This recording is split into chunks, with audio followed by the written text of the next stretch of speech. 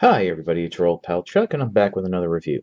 Today I'm taking a look at from the Transformers Robots in Disguise line. This is Combiner Force One Step Blurr. I was able to find this figure um, at my local Walgreens. Thankfully it was on sale, so I paid under $10 for it.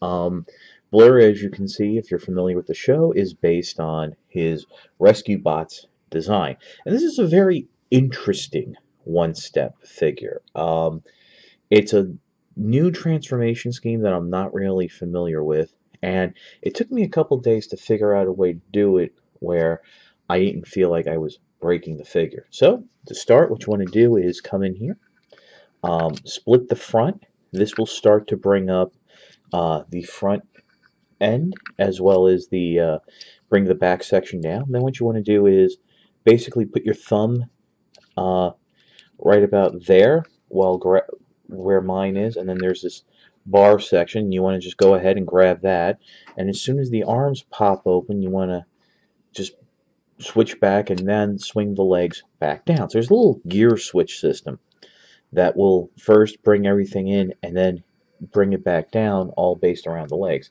Next, what you want to do is go ahead and flip the feet forward and uh, swing the arms out. They are pegged into place.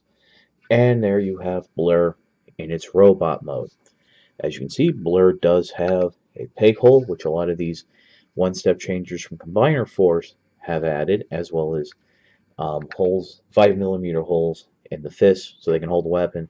That's been there for quite a while and with many one-step changers, but it is nice to see that they've you know kept the weaponizer uh, transformation uh, interactivity gimmick. Um, I kind of like Blurr and I'll be very honest, I think this actually is probably the um, only figure of Blurr we'll need. I mean, the character's name is Blurr. He's supposed to be really fast. And what's faster than a one-step changer? To go back to vehicle mode, bring the arms back down, make sure they snap into place, flip the feet down, and then go ahead and bring the legs out and pull this front end forward, which will then allow you to uh, Spring, close the legs up again, and uh, the sides of the legs, right by the ankles, will peg into some tabs in the front. And there you have the carb mode. Really fun figure. Um, if you can get it for uh, you know under ten dollars, like I did, definitely worth a pickup.